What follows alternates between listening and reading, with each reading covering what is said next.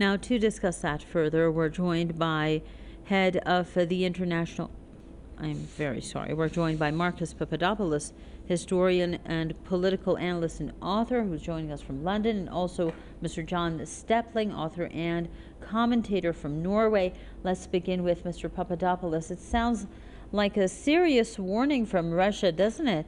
About the U.S. taking a risk of becoming a direct party to the war with its nonstop flow of destructive weapons to Ukraine. How serious do you see this threat? Well, it should be said, first of all, that there is no tangible evidence to demonstrate that the HIMARS are having an adverse impact on the ability of the Russian military to prosecute its campaign in Ukraine.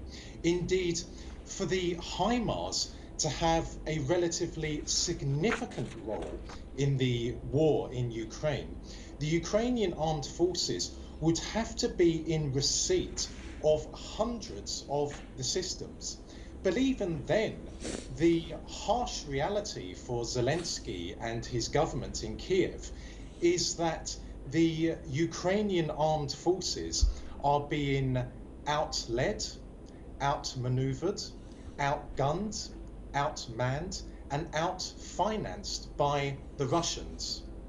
Anyone who is of the impression that either Ukraine can win this war or can achieve a stalemate quite simply is deluded.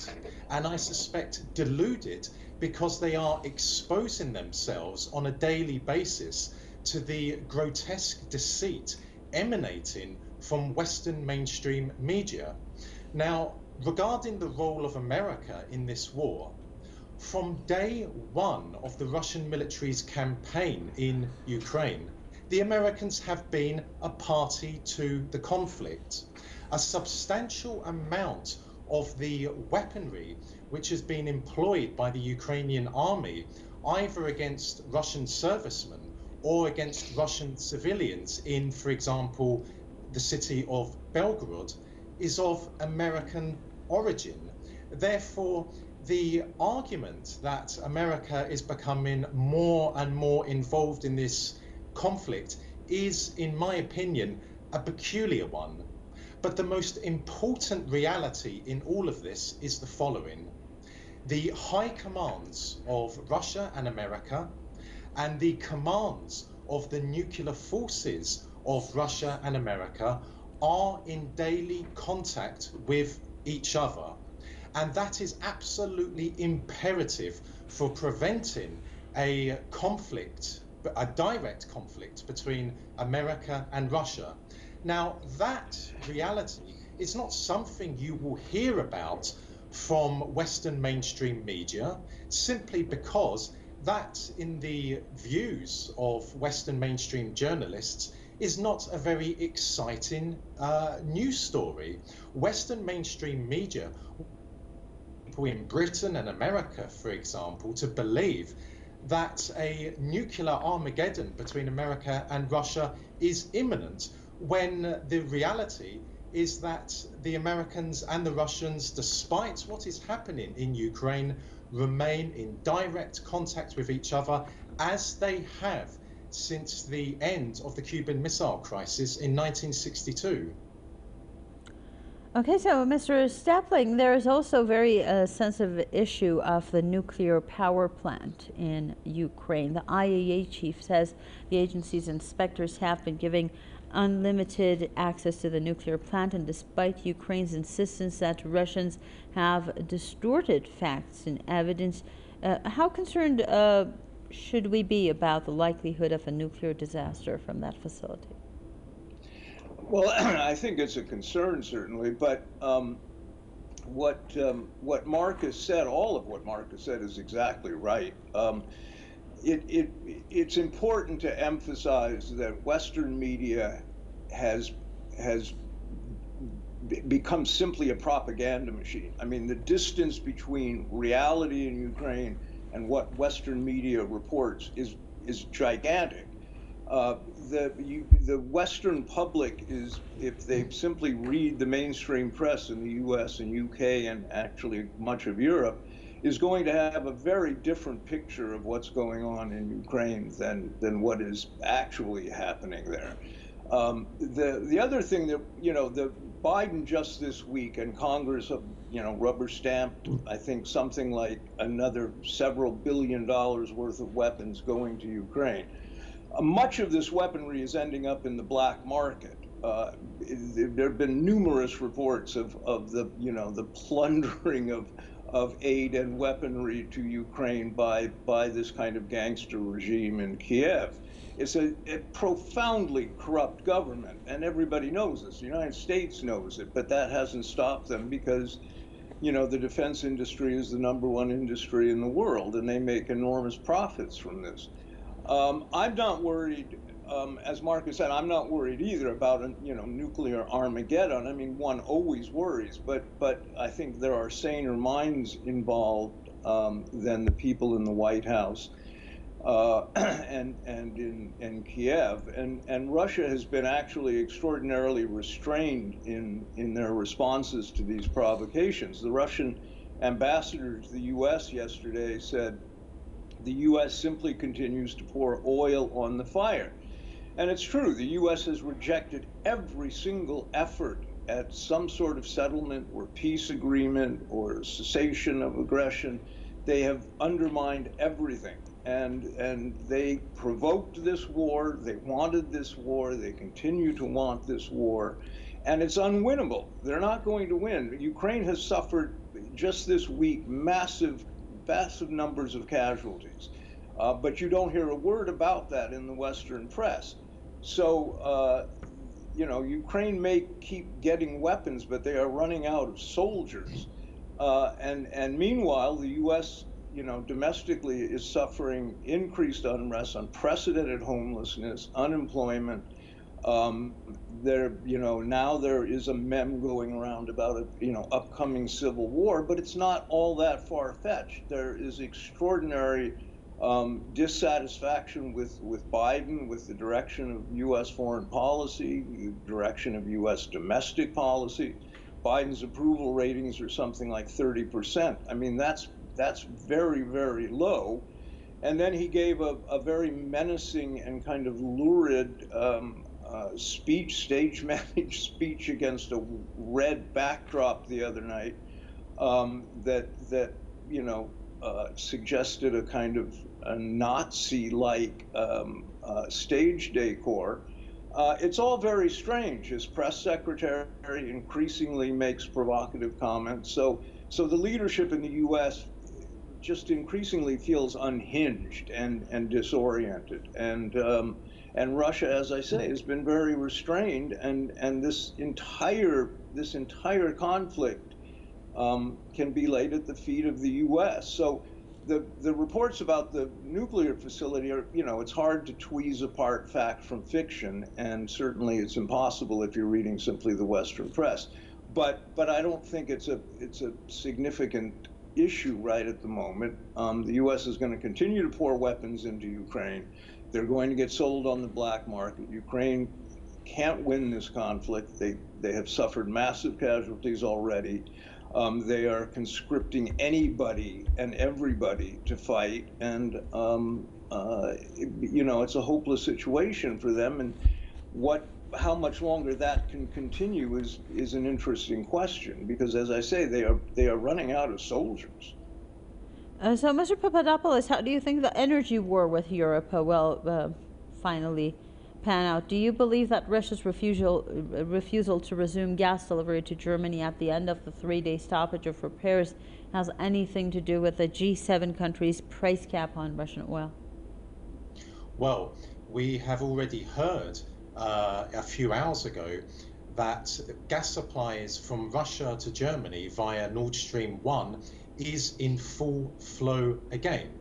So that completely um, refutes the uh, arguments put out by Western politicians and Western mainstream journalists this week that the Russians were deliberately um, withholding supplies of natural gas to Germany via Nord Stream 1.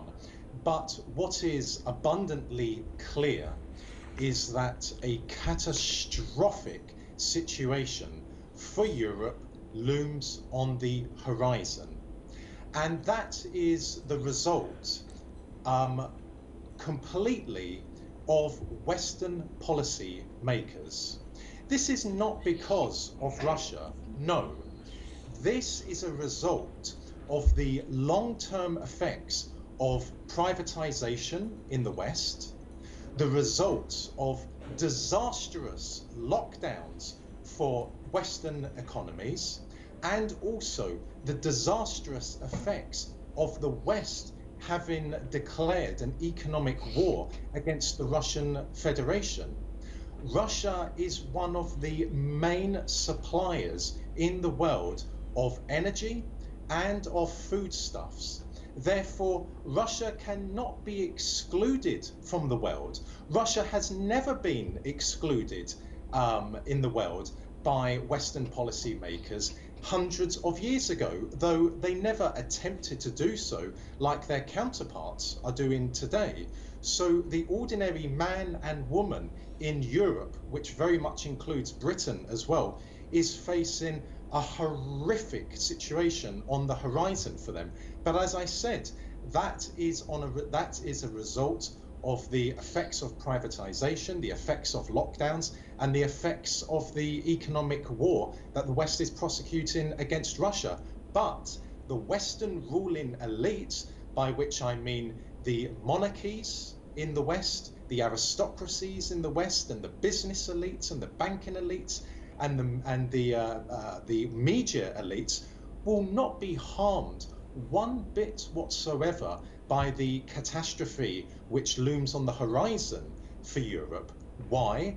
Because these people are either millionaires or multimillionaires or billionaires, and they care nothing for the welfare of their ordinary people. Indeed, the monarchies and aristocracies of Europe only care for their own families, for their own bloodlines these people will remain warm and safe and secure in their palaces and castles and mansions and manors, whilst ordinary people in, in Europe, including in Britain, will either perish because of exposure to the cold elements or will fall into poverty or will, to, or will fall or will become homeless.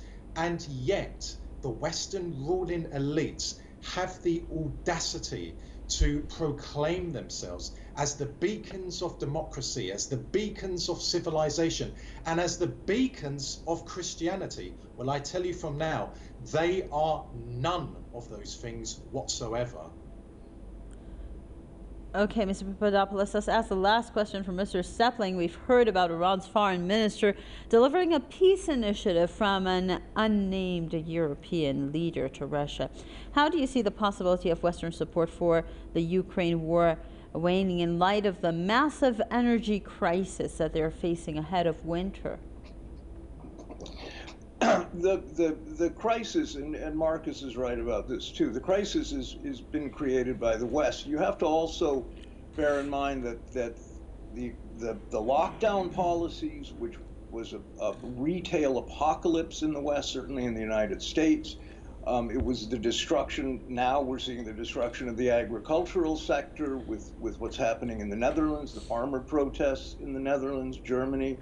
Um, in Italy, people are tearing up their energy bills and burning them in public displays of protest because the bills are unpayable, they're so exorbitant. And this is just the beginning of the cold season. We haven't gotten into winter yet.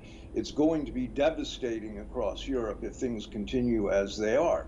Uh, the policies are irrational. Connected to this is the, the World Economic Forum, the so called Great Reset, uh, all under cover of, of climate concerns or green capitalism.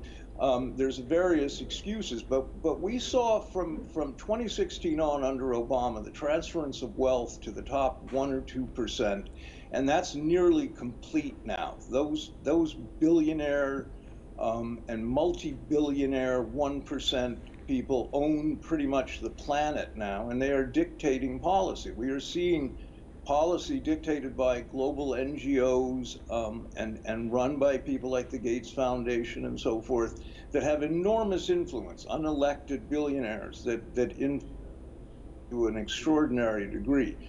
Um, you know, peace initiatives, all of this is almost beside the point at this at, at this point because I'm not sure how to reverse the the, the crisis that looms um, in terms of energy in Europe. Uh, it, it, it, would take a massive change of course, and that's probably not going to happen because we are seeing the U.S. NATO war machine um, controlling uh, where the money goes, and, and they don't. And, and Marcus is right; they don't care about the people. They don't care about the suffering of the people. They've never cared about the suffering of the people.